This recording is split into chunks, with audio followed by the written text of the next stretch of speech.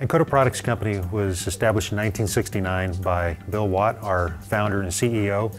And from the beginning, his uh, commitment to customer satisfaction and customer service has really been uh, a core uh, value of this company. So when a customer calls, they're going to receive uh, live help and uh, they're going to find somebody here who's got uh, years of experience and is you know, technically astute and able to address their needs.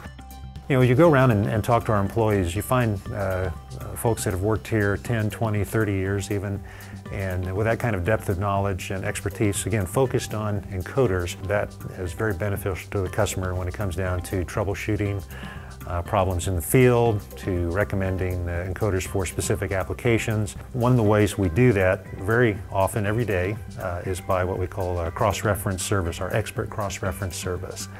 And so uh, we've been collecting data on encoders for decades. We've been retaining that and have it organized in a way that so when a customer calls in with uh, maybe a, a, brand of encoder that's out of business for a decade or two and a model number, uh, chances are we can go back through our archives and find that uh, encoder part number, break it down, and then uh, convert it to an encoder products company encoder that we can then build and ship within 24 or 48 hours.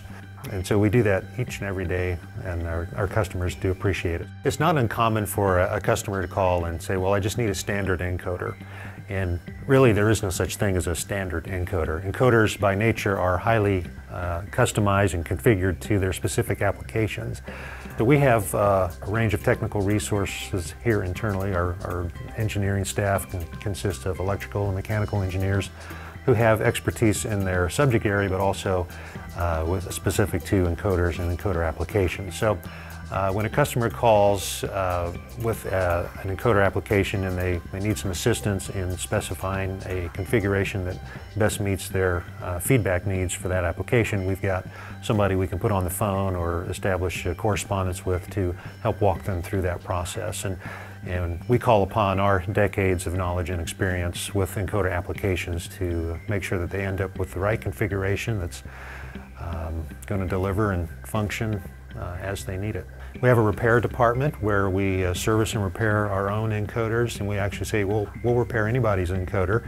Uh, send them in to us and, and, a lot of times what we do is you know we evaluate a, an encoder that's not working and uh, you know if it's a competitor's encoder of course we want to uh, you know recommend an encoder products company encoder but there have been cases where you know we uh, actually repair the other brand encoder and send it back to them and, and we say you know this wears out again, you know, here's an encoder products uh, model number that can replace that in the future.